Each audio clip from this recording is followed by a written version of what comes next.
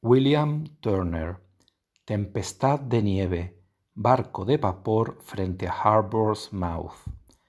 Expuesta en la Royal Academy en 1842, esta pintura tuvo una acogida marcadamente desfavorable, hasta tal punto que a Turner le molestó mucho la incomprensión de la crítica, que una vez más se reveló incapaz de captar las novedades de sus opciones figurativas.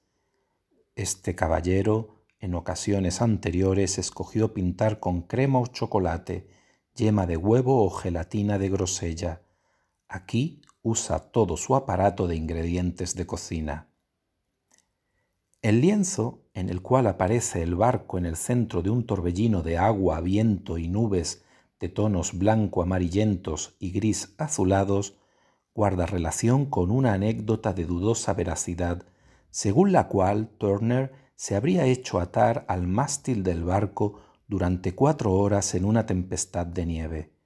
El episodio, que Ruskin refiere como narrado por el propio artista, es sin duda indicativo de su carácter y de la extravagancia que se le atribuía, no exenta de excesos y acciones típicamente románticos.